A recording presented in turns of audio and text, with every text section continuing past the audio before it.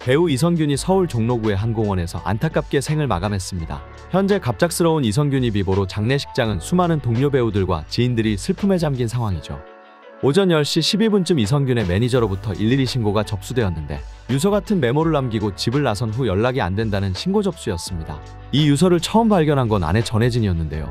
그리고 얼마 후 오전 10시 30분쯤 가족의 실종 신고로 주변을 탐문하던 중 종로구에 있는 와룡공원 인근에서 이성균의 차량을 발견하였고 의식 없는 상태의 이성균과 조수석에 있는 번개탄 한 점이 함께 발견되었습니다.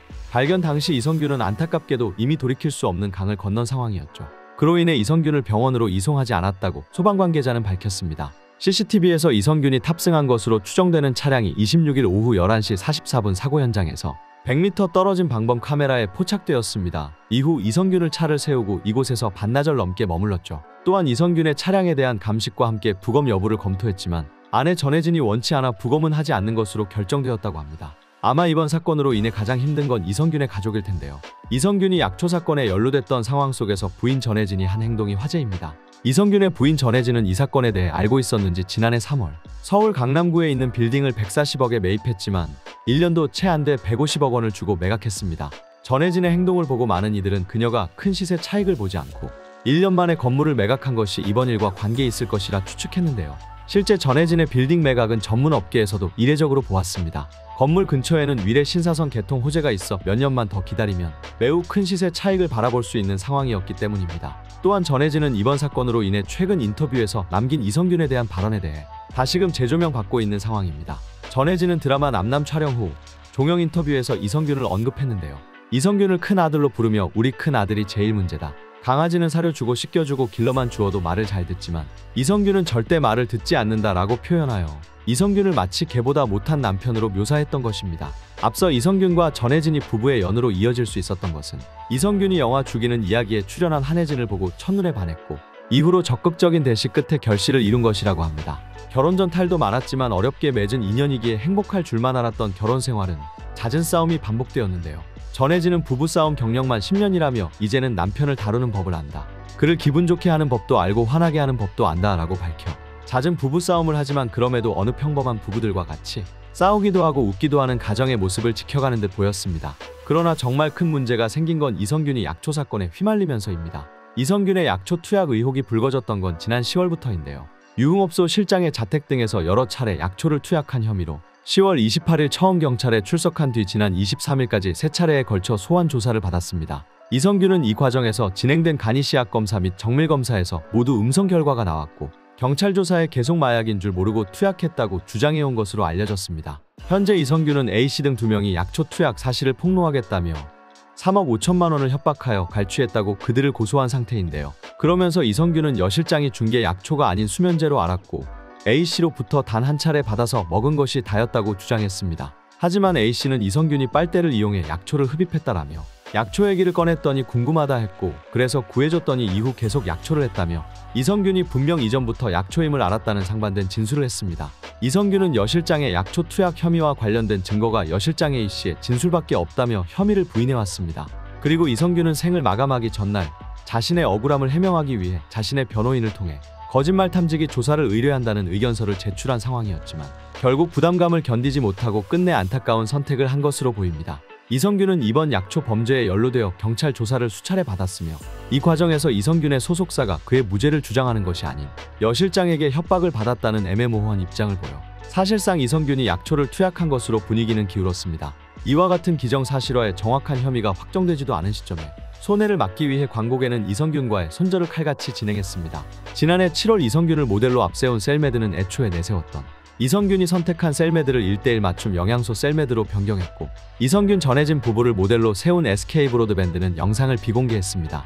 특히 씁쓸한 점은 이번 파장으로 인해 아내 전혜진에게도 피해가 고스란히 전달되었죠.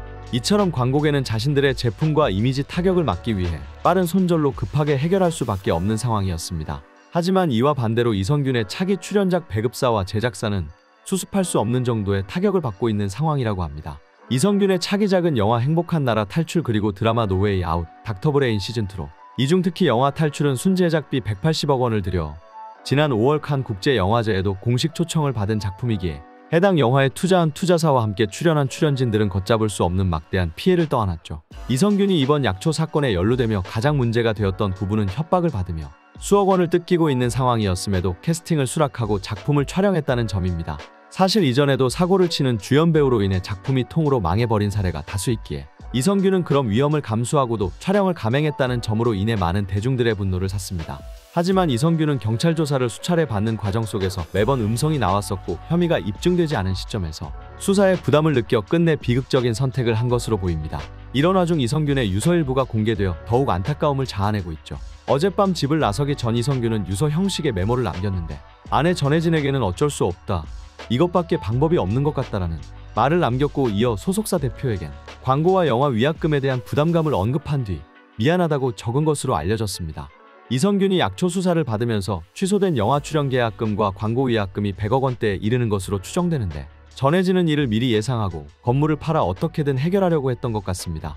앞서 이성균은 이 사건으로 경찰에 첫 출석할 당시부터 줄곧 너무 힘든 고통을 감내하고 있는 가족들에게 미안한 마음입니다. 라며 미안함을 전했던 그였죠. 사실 이성균은 금전적인 것만으로 이렇게 안타까운 선택을 하지 않았다고 생각되는데 이성균 말고도 더 많은 죄를 짓고도 잘만 활동하는 연예인도 많죠. 이성균은 이전 법전이라는 드라마 출연료가 회당 2억이었고 12회 방영으로 24억의 수입을 올려왔으며 아내 전혜진의 건물도 매각한 상황에 그깟 100억쯤이야 위약금을 물고 만약 죄가 있었다면 정당하게 죄값을 받고 다른 연예인들처럼 자숙하다가 때가 되면 성실하게 활동해서 갚아나가면 된다 생각됩니다. 하지만 이성균의 선택에 반증하듯한 증언들이 나와 화제를 모으고 있습니다. 자신을 이성균과 중학교부터 친구라고 밝힌 B씨가 말하길 성균이는 저한텐 불알 친구로 불려도 될 만큼 청소년 시기를 같이 보냈던 친구였고 집안끼리도 서로 친했고 저는 특히 성균이 누나랑 형들한테 이쁨을 많이 받았다며 사남매 중 막내라 멘탈이 더 약했던 것 같기도 하다. 적어도 저는 지금 그의 죄를 논하기 전에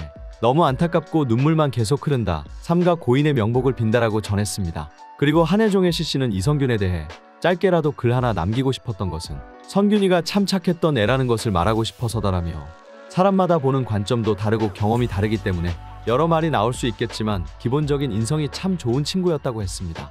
이어 남에게 피해주는 거 싫어하고 연예계 선배들에게 예의 있었고 후배들은 잘 챙기려고 노력했던 아이였다라고 얘기합니다.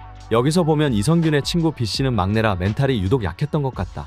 그리고 동창 씨 씨는 이성균이 남에게 피해를 주기 싫어했다라고 밝혔죠.